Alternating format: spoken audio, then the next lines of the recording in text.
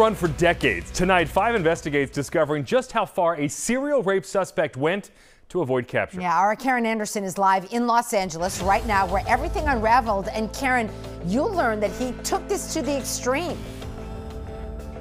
Well, sources tell me that Stephen Gale, it appears, mutilated his fingertips so his fingerprints couldn't be used to identify him.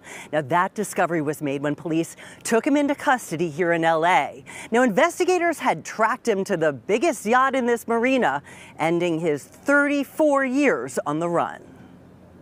Framingham police were back here at the Los Angeles Marina today. It was nearly two weeks ago investigators had tracked Stephen Gale to the marina and found him on a yacht named Dior. Police had Gale under surveillance on the yacht when he got in his car and fled. That led to the dramatic police chase through the city and Gale's arrest by Los Angeles police outside a hospital. Now, take a look at these pictures taken by a local photographer. You can see police officers trying to take Gale's fingerprints moments after taking him into custody.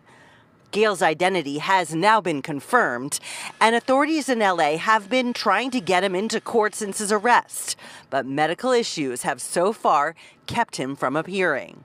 He is wanted in Massachusetts to face charges he kidnapped and raped two women at a clothing store in Framingham in 1989.